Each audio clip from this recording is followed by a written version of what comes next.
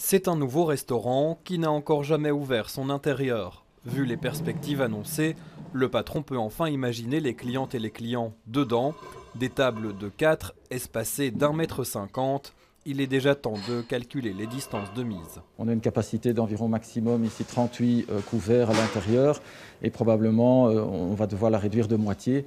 Mais bon, c'est quand même toujours, euh, même si on la réduit de moitié, c'est une capacité équivalente à celle de notre terrasse. Donc pour nous, ça fait dire x2 donc sur notre capacité d'accueil. Donc c'est toujours quand même positif. Une ouverture le 9 juin, c'est donc un soulagement relatif surtout pour faire face à la météo capricieuse, comme ça a déjà été le cas ce dimanche soir. On a des parasols qui se sont envolés, les clients sous la pluie, ce n'était pas l'idéal, on s'est tous regardé qu'est-ce qu'on fait, bon c'est clair on ne peut pas rentrer, et donc ça crée évidemment des situations euh, compliquées à, à gérer. Car même dans ce quartier piétonnier du centre, où les terrasses ont la côte, un extérieur ne suffit pas toujours. S'il pleut, euh, tu sais pas quoi faire, hein, c'est vraiment gênant.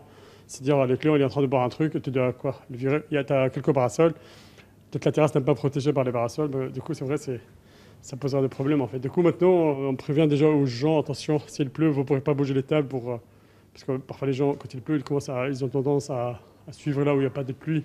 Donc on est en train de dire attention, s'il pleut, vous allez devoir partir. Un mois encore avant cette nouvelle étape. Pour l'ORECA, les commerçants que nous avons rencontrés ont le sourire, mais ils espèrent que les conditions seront bien réunies et que d'autres assouplissements suivront d'ici peu.